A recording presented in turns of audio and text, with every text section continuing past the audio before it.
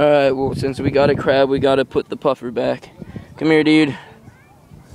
Oh, he just puffed up. Hold on, I want to show you something cool. Drop him, and he floats.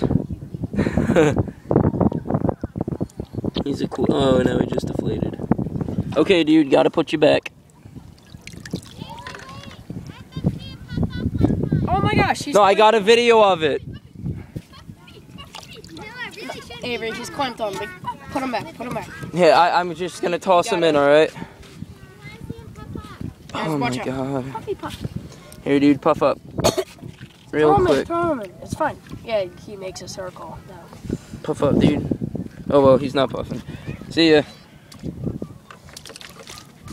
And he's gone. Let go. And now the crab is in there. Kind of.